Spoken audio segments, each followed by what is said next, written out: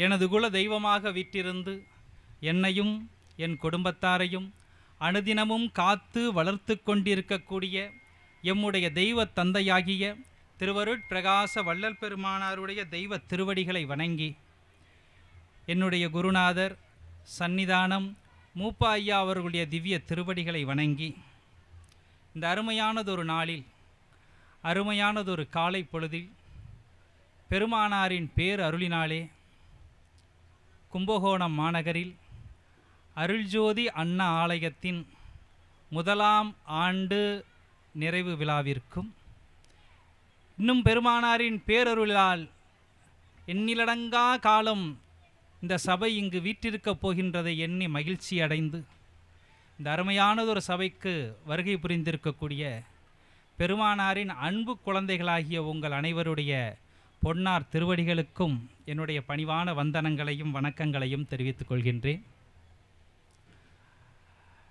இந்த நிகழ்ச்சிக்கு வருவதற்கு நம்முடைய கண்ணபிரான் ஐயா எனக்கு தொலைபேசியில் பேசியிருந்தார்.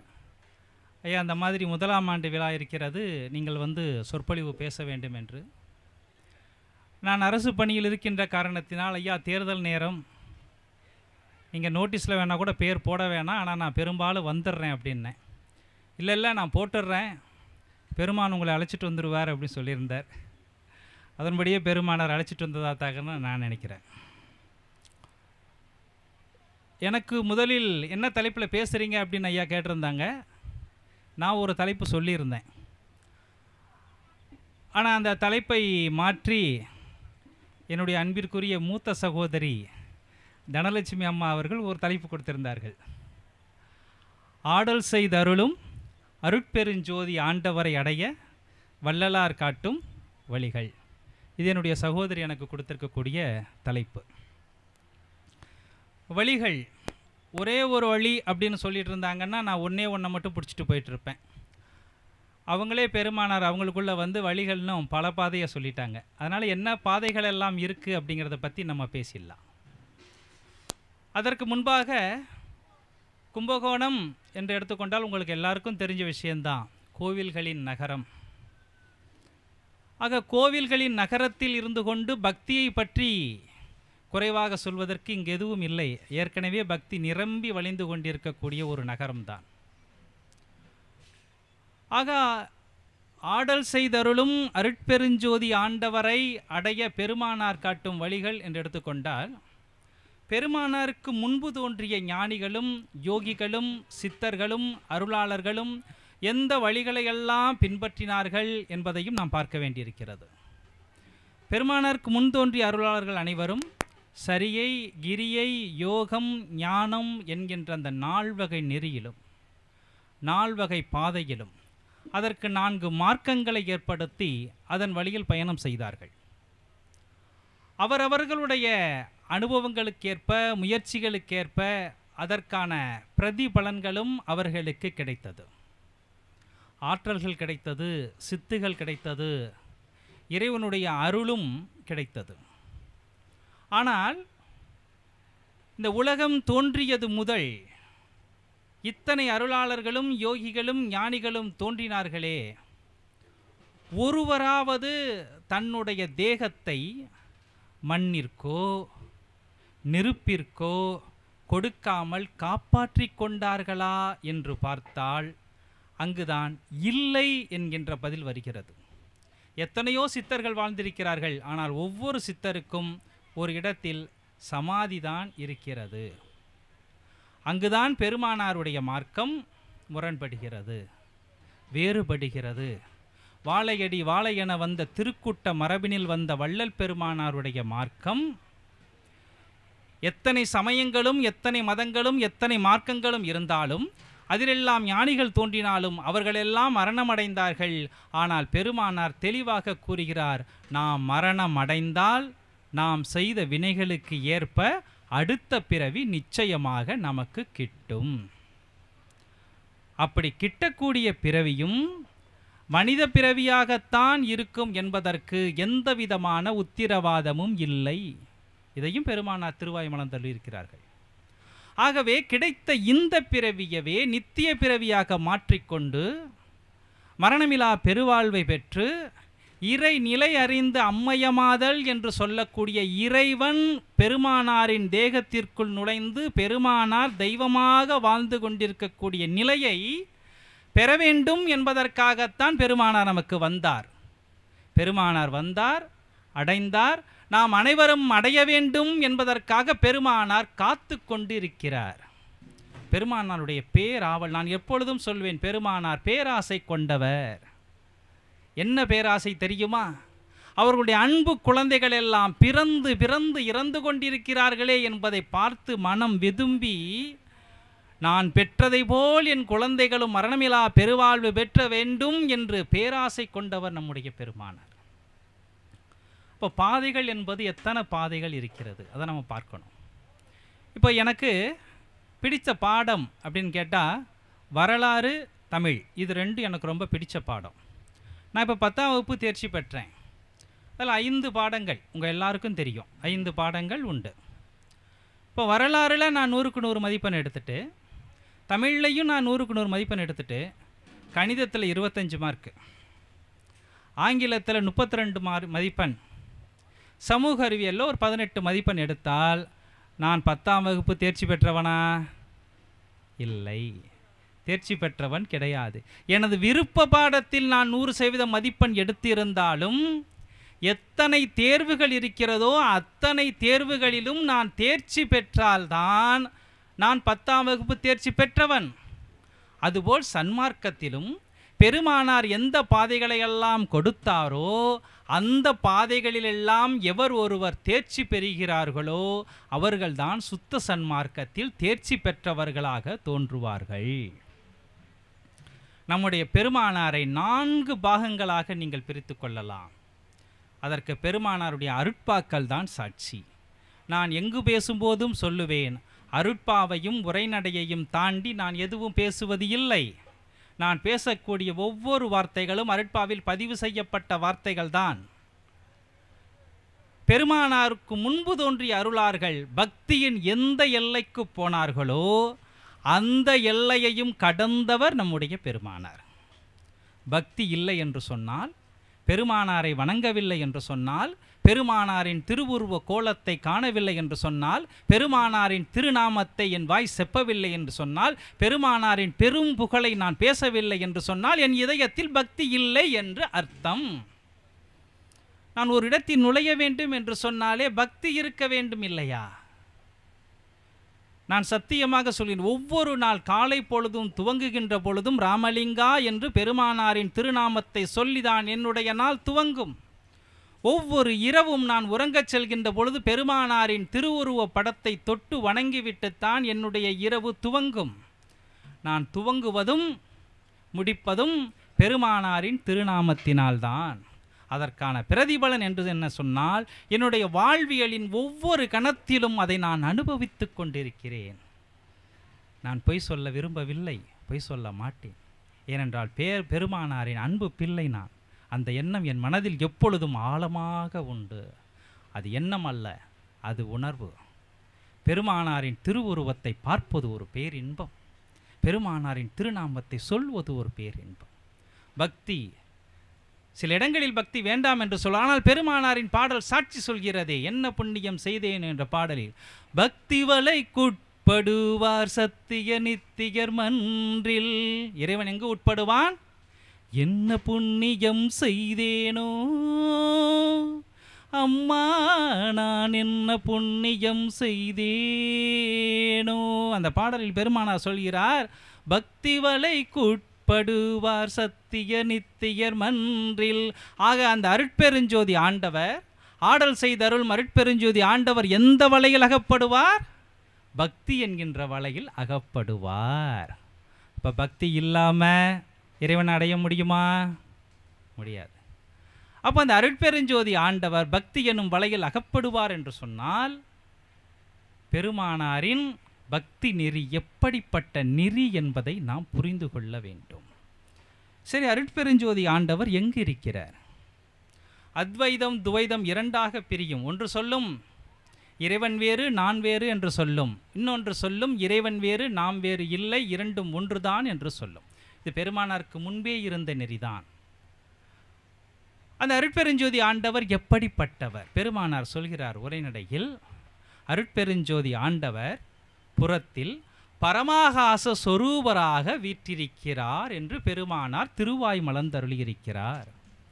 பரமாகாசம் என்று சொன்னால் ஆகாசம் என்றால் வெளி பரமாகாசம் என்று சொன்னால் மேலான வெளி என்று பொருள். ஆக அந்த அருட்பெருஞ்சோதி ஆண்டவர் வெளியில் ஏதாவது உருவத்தில் இருக்கிறாரா? இல்லை. அவர் பரமாகாச சொரூபராக விற்றிருக்கிறார். ஆனால் மனித தேகத்தில் புருவ மத்தியில் அதே அருட்பெருஞ்சோதி ஆண்டவர் பேரொளியாக பொன்னொளியாக உள்ளொளியாக அனுபவப்படுகிறார். வெளியில் பரமாகாச சொருவராக இருக்கக்கூடிய அந்த சர்க்குருநாதர் வெளியில் பரமாகாச சொரூபராக இருக்கக்கூடிய நடராஜர் வெளியில் பரமாகாச சொருவராக இருக்கக்கூடிய அருட்பெருஞ்சோதி ஆண்டவர் மனித தேகத்தில் காரியப்பட்டு கொண்டிருக்கிறார். எங்கு காரியப்படுகிறார்? மனிதர்களின் தேகத்தில் புருவ மத்தியில் அவர்கள் தவம் இயற்றுகின்ற பொழுது பேரொளி அனுபவமாக பொன்னொளி அனுபவமாக மாறி கடைசியில் உள் ஒளியாக ஆடல் செய்து கொண்டிருக்கக்கூடிய அருட்பெருஞ்சோதி ஆண்டவராக நடராஜராக இறைவன் காரியப்பட்டு கொண்டிருக்கிறார். சரி அப்படிப்பட்ட அருட்பெருஞ்சோதி ஆண்டவரை நான் எப்படி அடைய முடியும்? பக்தி என்கின்ற பாதையில் நான் பூரணத்துவம் பெற்றவனாக மாறுகின்ற பொழுது நான் இறைவனை அடைகிறேன். ஒழுக்கம். பெருமானார் ஒழுக்கத்தை கொடுத்திருக்கிறார். இந்திரிய ஒழுக்கம் கரண ஒழுக்கம் என்று இரண்டு ஒழுக்கங்களை கொடுத்திருக்கிறார். நித்திய கர்ம விதிகளை கொடுத்திருக்கிறார் ஒழுக்கம் என்றாலே ஒழுகுவதுதான். அதில் யாதொரு பிழையும் இல்லாமல் ஒழுகுவது ஒழுக்கம். அந்த ஒழுக்கத்தின் வாயிலில் நிற்காத ஒருவரால் சன்மார்க்கத்திலும் நிற்க முடியாது. இந்திரிய ஒழுக்கத்தை பின்பற்றவில்லை என்று சொன்னால் நாம் சன்மார்க்கத்தில் இல்லை என்றுதான் பொருள். காலையில் நான்கு முப்பது மணிக்கு என்னால் என் உடல் எது எழவில்லை என்று சொன்னால் நான் சன்மார்க்கத்தில் இல்லை என்று பொருள். பிறர் குற்றம் விசாரித்தால் நான் சன்மார்க்கத்தில் இல்லை என்று பொருள். பொய் சொன்னால் நான் சன்மார்க்கத்தில் இல்லை என்று பொருள். பிறர் பொருள் மீது நான் ஆசைப்பட்டால் சன்மார்க்கத்தில் இல்லை என்று பொருள். நாதம் முதலிய சோஸ்திரங்களை நான் கேட்கவில்லை என்று சொன்னால் நான் சன்மார்க்கத்தில் இல்லை என்று பொருள். நான் அப்போ எப்பொழுது சன்மார்க்கத்தில் இருக்க முடியும்? நாதம் முதலிய சோஸ்திரங்களை உற்று கேட்பதின் வாயிலாக கரண ஒழுக்கத்தில் முதல் ஒழுக்கமாகிய எவ்வித ஆபாசத்திலும் மனத்தை செலுத்தாமல் இழுத்து புருவமத்தியில் நிறுத்துவதின் வாயிலாக பெருமானார் கொடுத்த ஒழுக்கங்களை பின்பற்றுவதின் வாயிலாக ஆடல் செய்தருளும் அருட்பெருஞ்சோதி ஆண்டவரை நம்மால் அடைய முடியும். நம்மால் அடைய முடியும் என்கின்ற நிலை சன்மார்க்கத்தில் இறைவன் வந்து நம்மை அடையக்கூடிய நிலைதான். ஏனென்றால் பெருமானார் இறைவனுடன் சேரவில்லை. இறைவன் பெருமானார் தேகத்திற்குள் கலந்தான். பெருமானாருடைய தேகம் இப்பொழுது எப்படிப்பட்ட தேகமாக இருக்கிறது? ஞான தேகமாக இருக்கிறது. ஞான தேகம் யாருடைய தேகம்? இறைவனுடைய தேகம். பெருமானார் ஒரு பாடல் பதிவு செய்கிறார். ஞான தேகா கதவை திற. இறைவனுடைய தேகத்தை என்னவென்று பெருமானார் சொல்கிறார்? ஞான தேகா கதவை திற என்று பாடுகிறார். பெருமானாருக்குள் இறைவன் நுழைந்தானா? பெருமானார் உள்ளம் என்னும் குடிசையில் நுழைந்தானா? அவர் தேகத்தில் முழுமையாக கலந்தானா? அப்ப இறைவன் எங்கிருக்கிறான்? உறுதியாக சொல்லுங்கள் என் பெருமானாரின் தேகத்திற்குள் இருக்கிறான். அந்த அருட்பெருஞ்சோதி ஆண்டவர் எங்கிருக்கிறார்? என் பெருமானாரின் தேகத்திற்குள் வாழ்ந்து கொண்டிருக்கிறார். அப்போ என்னுடைய பெருமானாருடைய தேகம் எப்படிப்பட்ட தேகம்? ஞான தேகம். சரி இந்த ஞான தேகத்திற்கான இலக்கணம் என்ன? பெருமானார் குடிக்கிறார் உரைநடையில் தோன்றியும் தோன்றாமலும் இருக்கும். இந்த இருக்கும் என்கின்ற வார்த்தை தான் முக்கியமான வார்த்தை. சுத்ததேகம் தோன்றும் பிடிபடும். பிரணவதேகம் தோன்றும் பிடிபடாது.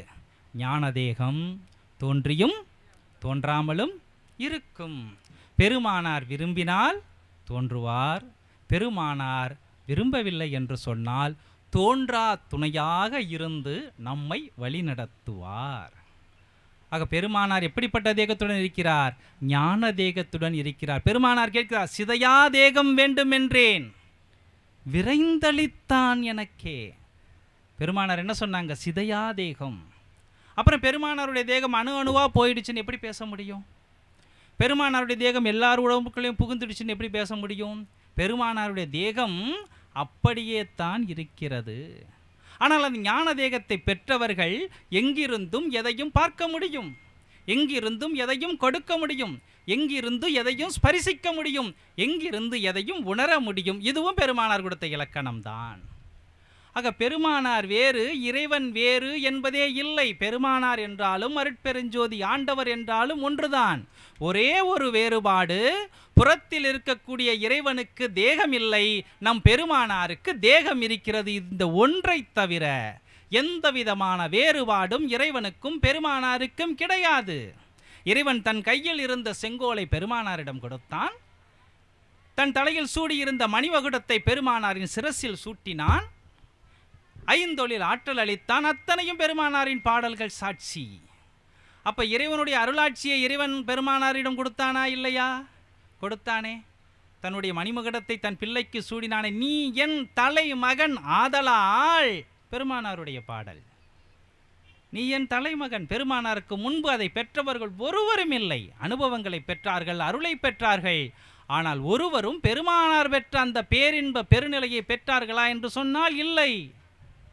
மணிமகுடம் சூட்டி செங்கோல் அழித்து அருட்பெருஞ்சோதி ஆண்டவர் பெருமானாரை உச்சி முகர்ந்தார் என்று சொன்னால் நம்முடைய தெய்வமாகிய வள்ளல் பெருமானார் எப்படிப்பட்ட நிலையில் இருக்கிறார் என்பதை நாம் புரிந்து கொள்ள வேண்டும்.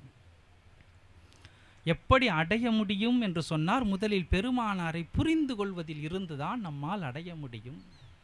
பெருமானாரை பற்றிய பிம்பத்தை ஒரு யோகியாக ஒரு ஞானியாக ஒரு சித்தராக சுருக்கி விடாதீர்கள். பெருமானாரின் பிம்பம் என்பதே பெருமானார் தெய்வம் என்பதுதான். நாம் என்ன கேட்டாலும் கொடுக்கக்கூடிய ஆற்றல் நாம் கேட்காவிட்டாலும் கொடுக்கக்கூடிய ஆற்றல் நான் எண்ணுவதை நான் பேசுவதை நான் செயல்பட்டு கொண்டிருப்பதை கவனித்து கொண்டிருக்கக்கூடிய ஆற்றல் நம்முடைய பெருமானாருக்கு சத்தியமாக இருக்கிறதா இல்லையா? எப்படிப்பட்ட தெய்வத்தை நாம் பிடித்திருக்கின்றோம்? இல்லையா? பெருமானார் அகவலில் இரண்டு வரிகளை அற்புதமாக கொடுப்பார். பெருமானார் சன்மார்க்க திருக்கூட்டத்தை இரண்டாக பிரிப்பார். ஒரு கூட்டம் அடியார்கள் மற்றொரு கூட்டம் அன்பர்கள். செடியரு தேதிட தேகமும் போகமும் அடியருக்கே தரும் அருட்பெருஞ்சோதி. சரியை கிரியை யோகம் ஞானம் என்று சொல்லப்படக்கூடிய நான்கு நிலைகளில் சரியையும் கிரியையும் எவர் ஒருகள் பின்பற்றி அடியார்களாக இருக்கிறார்களோ இறைவனுக்கு அடிமை கோலம் பூண்டிருக்கிறார்களோ இறைவன் இட்ட கட்டளையை எவர் ஒருவர் செவ்வனை செய்கிறார்களோ அவர்களுக்கு திடமான தேகமும் நோய் நொடி இல்லாத தேகமும் எந்த வகையிலும் குறைவில்லாத போகமும் அவர்களுக்கு கிடைக்கும். பெருமானாருடைய திருவாய்மொழி. அடுத்த வரியில் பெருமானார் எடுத்துட்டு வருவார். செடியரு தேதிட தேகமும் போகவும் அடியருக்கே தரும் அருட்பெருஞ்சோதி துன்பறுத்து ஒரு சிவ துரிய சுகந்தனை அன்பருக்கே தரும் அருட்பெருஞ்சோதி. அப்போ அன்பர்களுக்கு என்ன கொடுப்பார்? அன்பர்களுக்குத்தான் சிவ துரிய சுகம் கிடைக்கும். அடியார்களுக்கு கிடைக்காது. உண்மை அதுதான். அடியார்களுக்கு திடமான தேகம் கிடைக்கும் போகம் கிடைக்கும். எவர் ஒருவர்கள் ஞானத்தின் மார்க்கத்தில் நிற்கிறார்களோ எவர் ஒருவர் இறைவனின் அன்பர்களாக மாறுகிறார்களோ அவர்களுக்கு சிவ துரிய சுகம் கிடைக்கும். இந்த துரிய சுகம் என்பது என்ன? மனம் எந்த நிலையில் தன்னுடைய செயல்பாடை அற்றுவிடுகிறதோ மனம் அற்ற நிலையில் எப்பொழுது நாம் நிற்கிறோமோ அந்த துரியாதீத நிலையில்தான் அந்த சுகம் நமக்கு கிடைக்கும். இன்னும் பெருமானார் அதை எடுத்துக்கொண்டு வருவதாக இருந்தால் இது எந்த நிலையில் வாய்க்கிறது என்று சொன்னால் பெருமானார் பெருவெளி பெருஞ்சோதி மலை என்று சொல்லப்படக்கூடிய பேரொளி அனுபவத்தில் இந்த நிலை கிடைக்கும். இதற்கும் பெருமானாருடைய பாடல் சாட்சியாக இருக்கிறது. சரி அடியார்களை பார்த்துட்டோம் அன்பர்களை பார்த்துட்டோம். அன்பர்கள் என்பவர்கள் யார்? நம்ம பொதுவாக அன்பர்கள்னு சொல்கிறோம் ஆனால் அன்பர்களுக்கான பொருள் பெருமானார் ஒளிவில் ஒடுக்க பாயிர விருத்தியில் அன்பருக்கான பொருளை கொடுக்கிறார். அன்பர் என்பதன் பொருள் பொருள் புகழாதியை குறித்து பயில்வோரை நீக்கி சிவானந்தம் என்னால் அடைவது என்று விரும்பி பயில்வோரை குறித்தது ஆகும். அன்பர்கள் என்பவர்கள் யார்? பொருளை குறித்தோ புகழை குறித்தோ அதற்குள் செல்லாமல் பொருளுக்கு ஆசைப்படாமல் புகழின் மீது தன்னுடைய ஆசையை செலுத்தாமல் எவர் ஒருவர் சிவானந்தம் நமக்கு என்னால் கிடைக்கும் என்று விரும்பி பயில்வோரை குறித்தது. பெருமானருடைய வார்த்தைகள். இப்போ சிவானந்தத்தை எப்படி அடைவது? அன்பர் என்பதற்கான பொருள் என்ன? இறைவனுக்கு அடிமையாக வேலை செய்யக்கூடியவர்கள் அடியார்கள் தொண்டு செய்யக்கூடியவர்கள் தொண்டர்கள். அப்போ எவர் ஒருவரிடத்தில் அன்பு இருக்கிறதோ அவர்கள் அன்பர்கள். எவரிடம் அன்பு இருக்கிறதோ அவர்கள் தானே அன்பர்கள் இல்லையா? அப்போ அன்பு என்றால் என்ன பொருள்? அன்பு என்றால் நாம் பொதுவாக சொல்லுவோம் அன்பு அன்பு அன்புன்னு சொல்லுவோம். இது அன்பு அல்ல. அதற்கும் பெருமானாருடைய ஒரு பாடல் அற்புதமாக சாட்சி இருக்கிறது ஈரமும் அன்பும் கொண்டு இன்னருள் பெற்றேன். என்ன பெற்றாங்க பெருமானார்? ரெண்டே ரெண்டை தான் கையில் எடுத்தாங்க பெருமானார். ஈரமும் அன்பும் கொண்டு இன்னருள் பெற்றேன். என் மார்க்கம் இரவாத சன்மார்க்கம் தோழி. ஆடேடி பந்தில் வரும். என் மார்க்கம் இரவாத சன்மார்க்கம். அந்த இரவாத சன்மார்க்கத்திற்கு எனக்கு எது வேண்டும்? ஈரமும் அன்பும் வேண்டும். ஆனால் பெரும்பாலும் பொருள் சொல்பவர்கள் ஈரம் என்றாலும் ஜீவகாருண்யத்தை தான் பொருள் சொல்கிறார்கள். அன்பு என்றாலும் ஜீவகாருண்யத்தை தான் பொருள் சொல்கிறார்கள். அப்படி சொல்ல வேண்டிய அவசியம் அங்கு வருமா? அப்படின்னா ஒரே வார்த்தையை பெருமானார் பயன்படுத்தியிருக்கலாம். ஈரமும் அன்பும் என்று பெருமானார் இரண்டை சொல்கிறார். அதுவும் உம் போடுறார். உம்முனாலே வேறு வேறு பொருள்களை குறிக்கக்கூடியது. ஈரம் என்றால் அது ஜீவகாருண்யம். தயவு கருணை அன்பு என்றால் தவம். இப்போ இரண்டு நிலைகளும் நமக்கு இருக்க வேண்டும். ஒன்று ஜீவகாருண்யம் இருக்க வேண்டும். மற்றொன்று தவம் இருக்க வேண்டும்.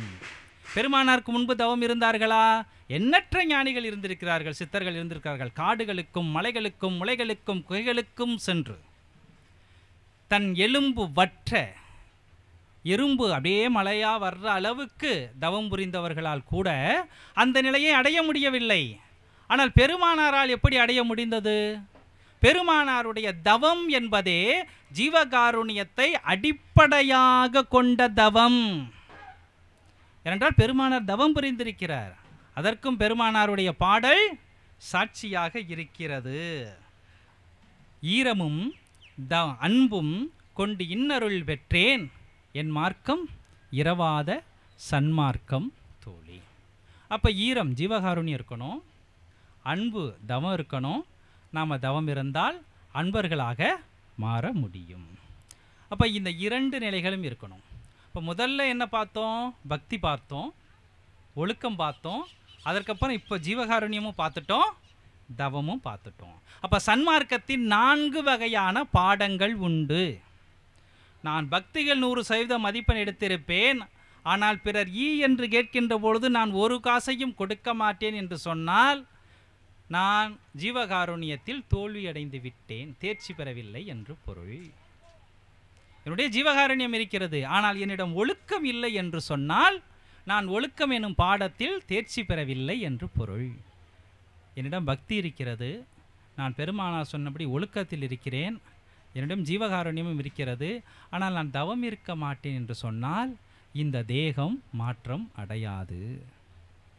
எப்படி ஒரு கடினமான இரும்பு கம்பியை கைகளால் வளைக்க முடியாதோ அதே இரும்பு கம்பிக்கு உஷ்ணத்தை கொடுத்தால் அந்த நெருப்பின் மூலமாக அந்த கம்பியை வளைக்க முடியுமோ அதுபோல் மண்ணான இந்த தேகத்தை தவம் எனும் உஷ்ணத்தால் சுட்டால் இந்த தேகம் மண்ணான தேகம்தான். இந்த தேகம் பொன்னான தேகமாக மாறும்.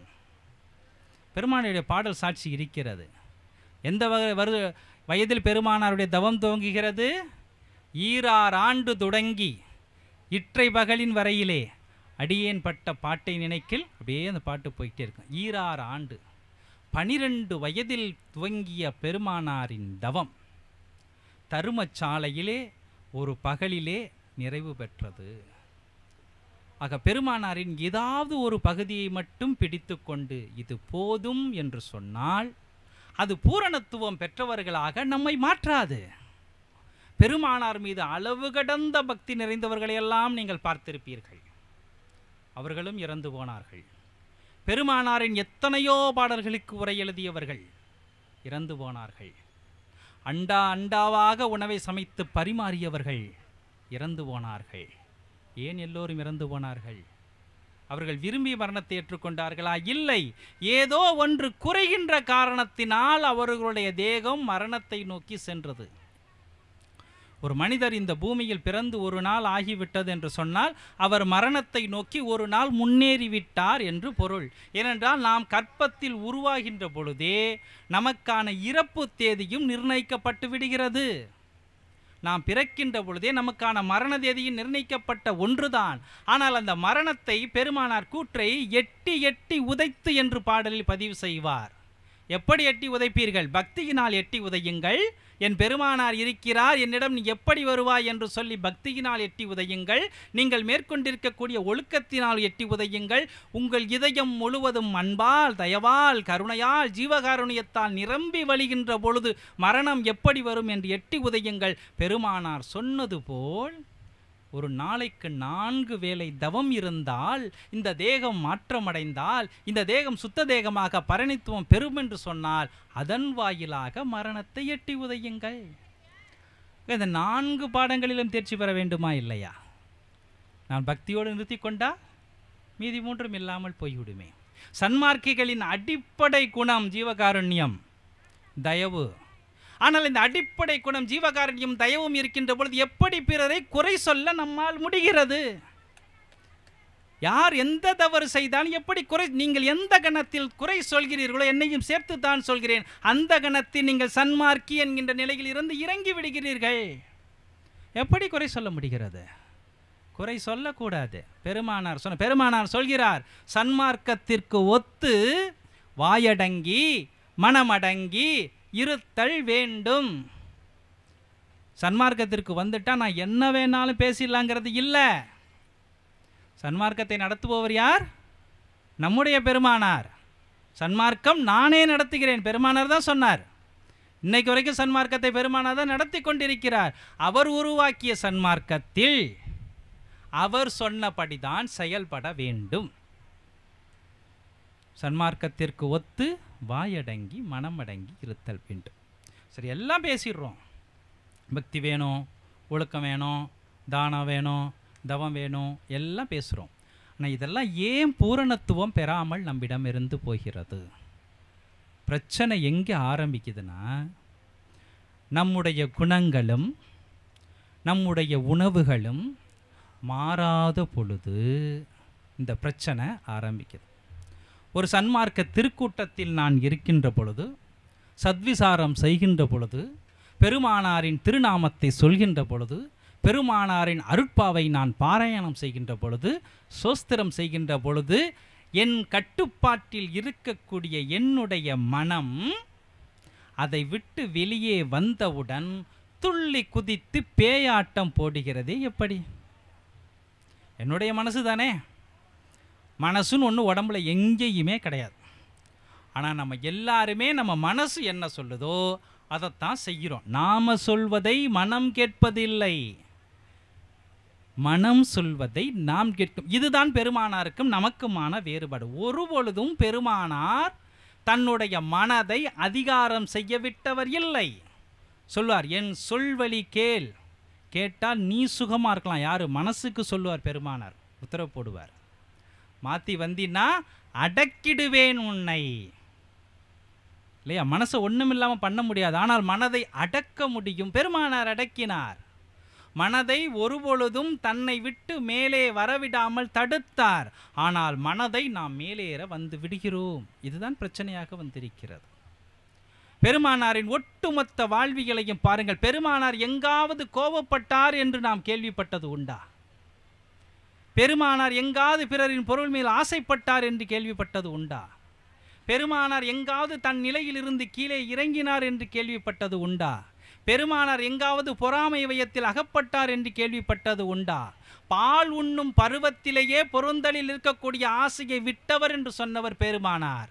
ஆனால் பெருமானாருக்கான வாழ்வியலும் நமக்கான வாழ்வியலுக்குமான இந்த வேறுபாடு தான் நம்மால் அருட்பெருஞ்சோதி ஆண்டவரை அடைய விடாமல் தடுத்து கொண்டிருக்கிறது. நமக்கான உணர்வுகள் எங்கிருந்து கிடைக்கிறது? நாம் உண்ணக்கூடிய உணவிலிருந்து தான் கிடைக்கிறது. இப்போ நான் பாடல் சொன்னேன். ஈரமும் அன்பும் கொண்டு இன்னருள் பெற்றேன். என் மார்க்கம் இரவாத சன்மார்க்கம் தோழி அப்படின்னு பெருமானாருடைய பாடல் சொன்ன இல்லையா? அதுக்கு அடுத்தடுத்த வரியில் பெருமானார் கொடுப்பார் காரமும் புளிப்பும் இதையெல்லாம் சேர்த்தா என்னாகும்? மரணம் வரும். அதே பாட்டில் பெருமானார் சொன்னார். இந்த தேகம் பத்தில் ஒன்பது மடங்கு எதனால் நஷ்டம் அடைகிறது ஆகாரத்தினால் நஷ்டம் அடைகிறது நாம் உண்ணக்கூடிய உணவுகள் தான் நமக்கான உணர்வுகளாக மாறுகிறது. நாம் உண்ணக்கூடிய உணவு சன்மார்க்க உணவாக இருக்கின்ற வரையில் நம்முடைய உணர்வுகளில் கோபமும் காமமும் பொறாமையும் மேல் எழுவது இல்லை. நம்முடைய உணவுகள் மாறுகின்ற பொழுது காரமும் புளிப்பும் எங்கெல்லாம் அதிகமாகிறதோ காரம் அதிகமாக அதிகமாக கோபம் வருகிறது. அப்போ இந்த உணர்வுகளை நமக்கு உருவாக்கக்கூடிய உணவில் நாம் கோட்டை விட்டு விடுகிறோம். பின்பு எப்படி அருட்பெருஞ்சோதி ஆண்டவரை அடைய முடியும்? காலையில் தனலட்சுமி அம்மா பார்த்த உடனே சாப்பிட்டீங்களான்னு நினை கேட்டாங்க. நான் சாப்பிட்டுட்டேன். நீங்கள் சாப்பிட்டீங்களாம்மான்னு கேட்டேன். இல்லை நான் சாப்பிட்றது இல்லைன்னாங்க. எங்கே கோட்டை விட்டேன்? நான் கோட்டை விட்டுட்டேன். இல்லையா? இங்கே நான் பேசிக்கிட்டு இருக்கிறது எல்லாம் எனக்கும் சேர்த்து தான் ஏன்னா பெருமானார் உணவே காலை உணவு நமக்கு கொடுக்கல. பனிரெண்டு மணிக்கு தான் நமக்கான உணவை பெருமானார் கொடுத்திருக்கிறார். காலையில் பெருமானார் கொடுத்த உணவு என்ன? ஒரு வீசம் பாலில் நானூறு மில்லி பாலில் நானூறு மில்லி தண்ணியை ஊற்றி முக்கூட்டு சூரணத்தை போட்டு அந்த தண்ணி முழுவதும் வற்றி அதன் பிறகு அது நாட்டு சக்கரை சேர்த்து தான் நம்மளை சாப்பிட சொன்னார். அப்படியும் உனக்கு பசி எடுத்ததுன்னா வாழைப்பழம் சாப்பிட்டுக்கப்பான்னு சொன்னார். ஆனால் காலையில் வந்தோடனே என்னென்ன சாப்பிட்டேன்? இட்லி சாப்பிட்டேன் கேசரி சாப்பிட்டேன் பொங்கல் சாப்பிட்டேன் அப்புறம் தூக்கம் வராமல் என்ன வரும்? தூக்கம்தான் வரும். தூக்கம் வந்தால் என்ன வரும்? மரணம் தான் வரும். அதிகமாக தூங்கினா என்ன வரும்? மரணம் தான் வரும். சாப்பாட்டில் கொட்டை விட்டால் தூக்கம் வரும் உணர்வுகள் மாறும். அப்புறம் மரணமில்லா பெருவாழ்வை எப்படி அடைய முடியும்? ஆண்டவரை அடைவது என்பது அடுத்து. முதலில் மரணமில்லா பெருவாள் பெரு மரணமில்லா பெருவாள் பெருவுக்கு என்ன முன்னாடி அதுக்கு முன்னாடி என்ன வேணும்? இறைவனுடைய அருள் வேண்டும். இறைவனுடைய அருளை பெற வேண்டும். மரணமிலா பெருவாழ்வை பெற வேண்டும். அதன் பிறகுதான் இறைநிலை அறிந்து அம்மையமாதல் என்கின்ற நிலையை அருட்பெருஞ்சோதி ஆண்டவரை அற்புதமான தலைப்பு. ஆடல் செய்த அருளும் அருட்பெருஞ்சோதி. கேட்குறதுக்கு எவ்வளோ இனிமையாக இருக்கு இல்லையா? இறைவன் கலந்தான்னா சந்தோஷம்தான். கற்பனை பண்ணி பார்க்கும்போதே அவ்வளவு சந்தோஷமாக இருக்குது ஆனால் சாதாரண உணவில் கூட என்னால் கவனம் செலுத்த முடியாது என்று சொன்னால் நான் எப்படி அடைவேன்? பெருமானார் எவ்வளோ நேரம் தூங்க சொல்கிறாங்க பனிரெண்டு மணியிலிருந்து மூணு மணி வரைக்கும். மூன்று மணி நேர தூக்கம் பெருமானார் கொடுப்பார். நம்ம வேணால் நாலு மணி நேரம் எடுத்துக்கலாம். அந்த வகையில் நான் கொஞ்சம் ரொம்ப கவனமாக தான் இருக்கிறேன். பதினொன்றரை பன்னெண்டு மணிக்கு முன்னாடி நான் தூங்குவதில்லை. அதிகாலை சன்மார்க்கியில் எழுவது போல் எழுந்து விடுகிறேன். ஆனால் அப்படி எழவில்லை என்று சொன்னால் அதிகமாக தூங்க தூங்க தூங்க அருட்பெருஞ்சோதி ஆண்டவரை அடையக்கூடிய வழி என்று அடைபட்டு கொண்டேதான் இருக்கும். கொல்லாமை வேணும் பொறுமை வேணும் சாந்தமாக இருக்கணும் தன்னை வெளிக்காட்டி கொள்ளாத அடக்கம் இருக்கணும் இந்திரிய ஒழுக்கத்தோடு இருக்கணும் கரண ஒழுக்கத்தோடு இருக்கணும் நித்திய கர்ம விதிகள் இருக்கணும். எனக்கு சன்மார்க்கம் வேணாம்ப்பா இது ரொம்ப கஷ்டமாக இருக்கும் போல். இல்லையா? பெருமானாரை கேட்கின்ற பொழுது ரொம்ப இனிமையாக இருக்கும். சன்மார்க்க சங்கத்தை சேர்ந்தவங்களாம் எப்போ அமைதியாக பேசுவாங்கப்பா? அன்பாக பேசுவாங்கப்பா? உண்மை தான் எப்போ போனாலும் வயிறு நிறைய சாப்பாடு போயிடுவாங்கப்பா உண்மை தான் எல்லாம் உண்மை தான் ஆனால் பெருமானார் சொல்கிறது எந்த அளவுக்கு கேட்போம்? கேட்போம். கேட்போம். கேட்போம். கேட்போம். கேட்போம். கேட்போம். இந்த ஒரு சினிமாவில் விசு சொல்வார். பத்தாம் வகுப்பு படித்தார். படித்து கொண்டு இருக்கிறார் படிப்பார். அது போல தான் இல்லையா?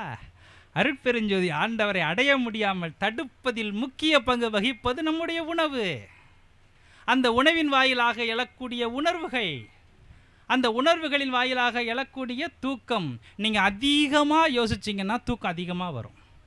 மூளை எவ்வளவுக்கு எவ்வளவு அதிகமாக யோசிக்கிறதோ அவ்வளவுக்கு அவ்வளவு அதிகமாக தூக்கம் வரும். உடல் உழைப்பின் வாயிலாக தூக்கம் வர்றதுங்கிறது அடுத்து. அதிகமாக யோசித்தா தூக்கம் வரும். பெருமானா சொல்வார் எதுக்கு யோசிக்கிற? யோசிக்கிறது இங்கே ஒன்றுமே இல்லை. யோசிக்கிறது இருந்தால் எதை பற்றி யோசிக்கணும்? இறைவனுடைய அருளை என்னால் பெறுவது என்று யோசிக்க வேண்டும். பெருமானாரின் பேரொருளை எப்பொழுது பெறுவது என்று யோசிக்க வேண்டும். ஆனால் பக்தி என்னிடம் பூரணத்துவம் இல்லை என்று சொன்னால் ஒழுக்கம் பூரணத்துவம் இல்லை என்று சொன்னால் ஜீவகாருண்யம் அடிப்படை ஆன்மாவின் இயற்கை குணம் இரண்டு. ஒன்று ஜீவகாருண்யம் இன்னொன்று ஆணவம். எல்லோரிடமும் ஆணவம் இருக்கிறதா? ஆ எல்லாரும் கை தூக்குவாங்க. கை தூக்கலைனாலும் மனசுக்குள்ளே தெரியும். எல்லோரிடமும் மாணவம் இருக்கிறதா. ஆம் இருக்கிறது. எல்லோரிடமும் ஜீவகாரண்யம் இருக்கிறதா? இருக்கிறது. குரல் குறையும். என்ன ஜீவகாருண்யத்திற்கு என்று எந்த எல்லை என்பதே நமக்கு தெரியாது. ஜீவகாருண்யம் என்பது செயல்பாடுகளில் மட்டும் இல்லை. நம்முடைய எண்ணங்களில் ஜீவகாருண்யம் இருக்க வேண்டும். பிறரை பார்க்கின்ற பொழுது தன்னுடைய சகோதரனாக தன்னுடைய சகோதரியாக பார்க்க முடியாத ஒருவனால் எப்படி ஜீவகாருண்யம் பெற்றவனாக இருக்க முடியும்? நம்ம எங்கே இருந்தோம் ஆரம்பத்தில்? இந்த பிறவிகள்லாம் வருவதற்கு முன்னால் இறைவனின் சன்னதியில் ஆன்மா ஹாசத்தில் ஒரே இடத்தில் தான் நாம் ஆன்மாக்களாக இருந்தோம். பிறவி எடுப்பதற்கு முன்னால் என் தேகத்தில் இருக்கக்கூடிய ஆன்மாவும் சகோதரர் கண்ணபிரான் தேகத்தில் இருக்கக்கூடிய ஆன்மாவும் என் சகோதரி தனலட்சுமி அம்மையார் தேகத்தில் இருக்கக்கூடிய ஆன்மாவும் ஒரு எறும்பில் இருக்கக்கூடிய ஆன்மாவும் ஒரு யானையில் இருக்கக்கூடிய ஆன்மாவும் ஆரம்பத்தில் ஒரே இடத்தில் இருந்த ஆன்மாக்கள் தான். கடவுளுடைய அருள் சக்தி அந்த ஆன்மாக்களை பக்குவ ஆன்மாக்கள் அபக்குவ ஆன்மாக்கள் பக்குவா பக்குவி ஆன்மாக்கள் என்று பிரித்தது. இதுவும் பெருமானார் சொல்லியிருக்கார். ஏன் பிரித்தது என்பதற்கான பதில் கிடைக்கவில்லை. ஆனால் ஆரம்பத்திலேயே கடவுளின் அருள் சக்தியானது ஆன்மாகாசத்தில் பக்குவ அபக்குவ பக்குவா பக்குவி ஆன்மாக்கள் என்று பிரித்தது அதனை அடிப்படையாக வைத்து நமக்கான பிறவிகளும் தோன்றியது. தாவரங்களிலே கூட பக்குவ ஆன்மாக்களாக இருக்கக்கூடிய ஆன்மாக்கள் புனிநுள்ளாக பிறக்கிறார்கள். அபக்குவ ஆன்மாக்கள் பாலைவனத்தில் இருக்கக்கூடியாக கள்ளி முள்ளி செடிகளாக பிறக்கிறார்கள். பெருமானார் சொல்வார் அருள் நெறியில் பாவம் செய்தால் என்னென்ன பிறவியெல்லாம் வரும்னு சொல்வார் பெருமான் மனதால் பாவம் செய்தால் என்ன பிறவி வரும் தெரியுமா? சண்டால பிறவி கிடைக்கும். சண்டால பிறவி என்பது காகம் கழுகு போன்ற பறவைகள் சண்டால பிறவிகள். மனதால் பாவம் செய்தால் வாக்கால் பாவம் செய்தால் தேகத்தால் பாவம் செய்தால் என்னென்ன பிறவிகள் கிடைக்கும் என்று பெருமானார் பட்டியலிட்டிருக்கிறார். அப்போ எப்படி நம்ம அடைய முடியும்? பெருமானாருடைய அருட்பாக்களை முழுமையாக படிக்கும் எந்த பெருமானாரின் எந்த பகுதியையும் விட்டு விடாதீர்கள். தயவு செய்து உங்களை மன்றாடி கேட்டுக்கொள்கிறேன். நான்காம் திருமுறை வேண்டாம். அஞ்சாம் திருமுறை வேண்டாம். ஆறாம் திருமுறை போதும். நான் உரைக்கும் வார்த்தையெல்லாம் நாயகன் தன் வார்த்தை. என் வார்த்தை வீண் வார்த்தை விளம்பாது. பெருமானாரை நம்புங்கள். பெருமானாரை நம்புவதைத் தவிர பெருமானாரை வணங்குவதைத் தவிர பெருமானாரின் வாழ்விகளை பின்பற்றாதே தவிர வேறு எந்த வழியிலும் நம்மால் உய்ய முடியாது. இறைவனை எப்படி அடைவீர்கள்? பெருமானார் எந்த பாதையில் பயணம் செய்தாரோ அந்த பாதையில் பயணம் செய்யாமல் வேறு வழியில் பயணம் செய்தால் எப்படி அடைய முடியும்? பெருமானாரின் திருவுருவத்தை வைக்காதீர்கள். பெருமானாரின் திருவுருவப் படத்தை வைக்காதீர்கள். வையுங்கள் வைக்காதீர்கள். எப்படி எவ்வளவு சச்சரவுகள்? ஆனால் பொறுமையா நீ இருக்கிறியாப்பா? சாந்தமாக இருக்கிறியாப்பா? அடக்கமாக இருக்கிறியாப்பா? ஜீவகாருண்யத்தோடு இந்த கேள்விகள் தானே சன்மார்க்கத்தில் எழுந்திருக்க வேண்டும்.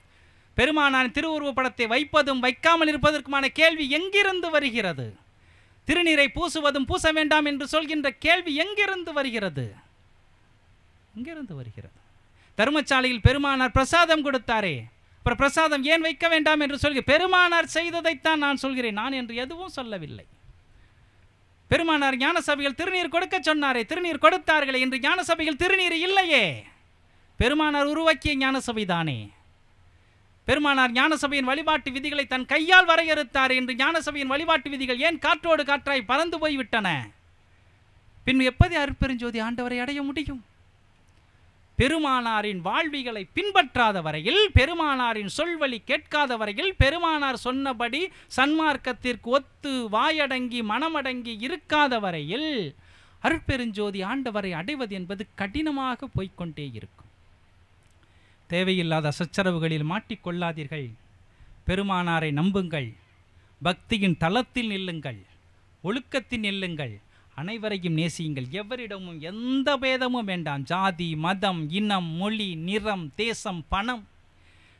எந்த பேதமும் வேண்டாம். எந்த பேதமும் பார்க்காததினால்தான் பெருமானாரால் அடைந்த முடிந்தது. நினைவில் வையுங்கள். எந்த ஒரு பேதமும் பார்க்க ஜாதியும் மதமும் சமயமும் பொய்யனன் பெருமானார் ஏன் சொன்னார்? ஜாதியின் மீது பற்று வைத்திருப்பவர்கள் மதங்களின் மீது பற்று வைத்திருப்பவர்கள் சமயங்களின் மீது பற்று வைத்திருப்பவர்களிடம் தயவு இல்லாமல் போய்விடுகின்ற காரணத்தினால் அவை அனைத்தும் பொய் என்று பெருமானார் சொன்னார். ஜாதி பொய் என்று தெரியாதவர்களால் அருட்பெருஞ்சோதி ஆண்டவரை அடைவது கடினம். மதத்தின் மீதும் சமயங்களின் மீதும் பற்று வைத்திருந்தால் அருட்பெருஞ்சோதி ஆண்டவரை அடைவது என்பது கடினம்.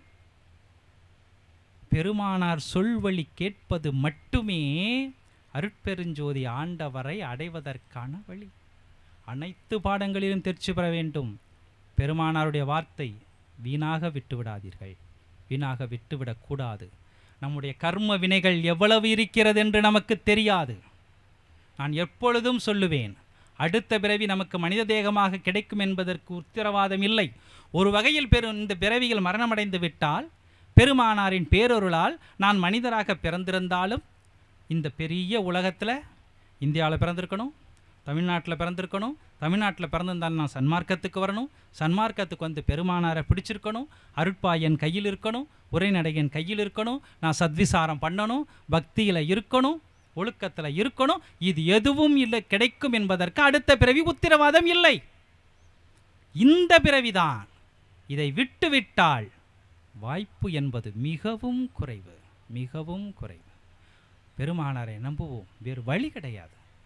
பெருமானார் தெளிவாக இந்த சமய சமயத் தெய்வங்கள் அனைத்தும் கற்பனை என்று பெருமானார் சொல்லிவிட்டார். திரும்ப அதற்குள் நுழைய வேண்டிய அவசியம் இல்லை. எதுவும் தேவை. பெருமானாருடைய ஒரு பாடல் போதும் இரண்டு பாடல் போதும். அற்புதங்களையும் அதிசயங்களையும் நமக்கு அள்ளி கொடுக்கிறது. இந்த தேகம் மாறாத வரையில் என் மனம் பக்குவப்படாத வரையில் கோபமும் காமமும் என்னை விட்டு போகாத வரையில் நாம் எத்தனை முறை தவறு செய்தாலும் பெருமானார் நம்மை மீண்டும் மீண்டும் சன்மார்க்கத்திற்கு இழுத்து கொண்டே வைப்பார். ஆனால் நமக்கான முயற்சியை நாம் விட்டுவிட்டோம் என்று சொன்னால் அனைத்து பாடங்களிலும் தேர்ச்சி பெறவில்லை என்று சொன்னால் மரணம் வந்துவிடும். சன்மார்க்கத்தில் நாம் பேச வேண்டியது மரணத்தைத்தான். பிற மார்க்கங்களில் எல்லாம் இருக்கிறதே. காரைக்கால் அம்மையாரிடம் இல்லாத பக்தியா? பேயார் என்று அழைக்கப்பட்டார். அனைத்தையும் கடந்தவர் பெருமானார். பெருமானாரை எவருடனும் ஒப்பிட முடியாது. எவனுடன் ஒப்பிட முடியாது. ஆனால் எத்தனை ஆண்டுகள் தவம் இருந்தாலும் கோபம் வந்தால் தவம் போச்சு. சினத்தை ஒழிக்கும் ம- மன்னிக்கணும். தவத்தை ஒழிக்கும் சினம். பெருமானார் சொன்ன வரிகள் நமக்கு அற்புதமான வரிகள். பெருமானாரை விட்டு விடாதீர்கள். விட்டு விட்டால் பெருமானாருக்கு எந்த நஷ்டமும் கிடையாது. இல்லையா? நஷ்டமெல்லாம் நமக்குத்தான். ஆனால் பெருமானார் நிச்சயமாக வருத்தப்படுவார். அதில் மாற்று கருத்தே இல்லை. என் பிள்ளையாக இருந்து சன்மார்க்கத்திற்கு வந்து ஒருவன் மரணமடைகிறார் என்று சொன்னால் பெருமானாரை விட வருத்தப்படக்கூடியவர்கள் எவரும் இருக்க மாட்டார்கள். பெருமானார் தெய்வமாக இருக்கிறார். நமக்கு வேண்டியது அனைத்தையும் கொடுக்க தயாராக இருக்கிறார். பெருமானாரை இறுக பிடித்து கொள்வோம் என்று கூறி அருட்பெருஞ்சோதி ஆண்டவரை அடையக்கூடிய வழிகள் பக்தி ஒழுக்கம் தானம் தவம் அனைத்திலும் நிறைவு பெறுவோம். பூரணத்துவம் பெறுவோம். பெருமானாரின் பேரொருளை பெறுவோம்.